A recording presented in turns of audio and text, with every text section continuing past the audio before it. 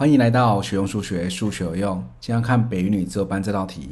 这道题呢，它在问说这一个非常非常大的数，然后呢用九去除的余数。好，那这边呢有一个小技巧，就是什么？一个数除以九的余数，就只要看哎这个位数相加。好，那所以我们今天呢，哎，我们就要来分析一下呢，啊，这个数到底是多大呢？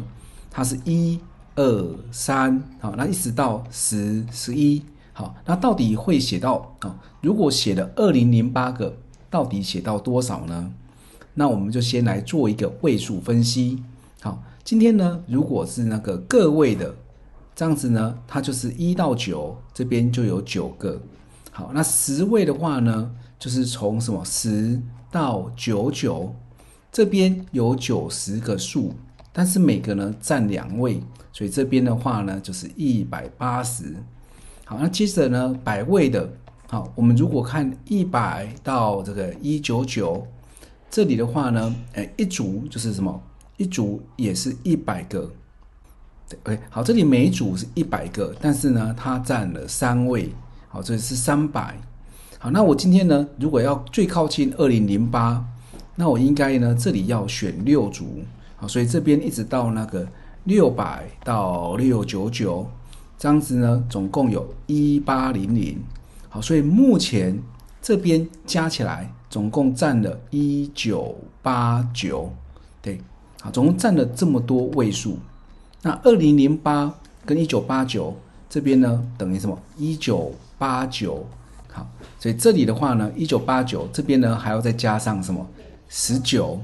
所以十九呢，表示说什么？哎，它这里有三乘六加一，所以呢，这个数到最后呢，它还会是七百七零一。好，那一直到七零五，这边有六组，最后呢还有一个七。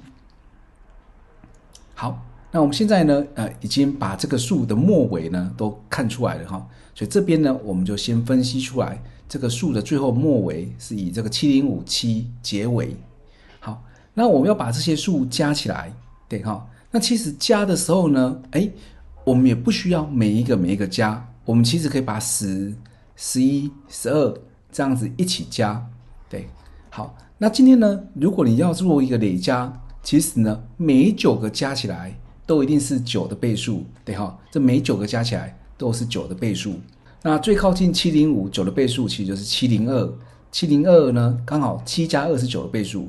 好，所以到七零二之前呢，哎，都会什么九个九个一组都会被九整除，所以最后我们只要分析七零三、七零四、七零五跟这个七，哎，这几个数加起来除九的余数就可以了。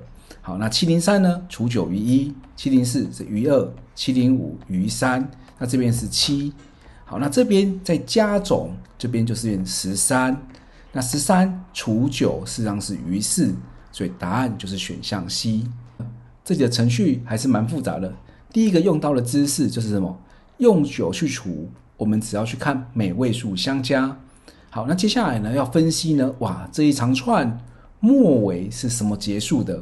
好，你这边呢就要用一个分组的方法，好，来得到呢前面呢，好到六九九之前是一九八九，最后呢再数出来，后面还要有十九个数。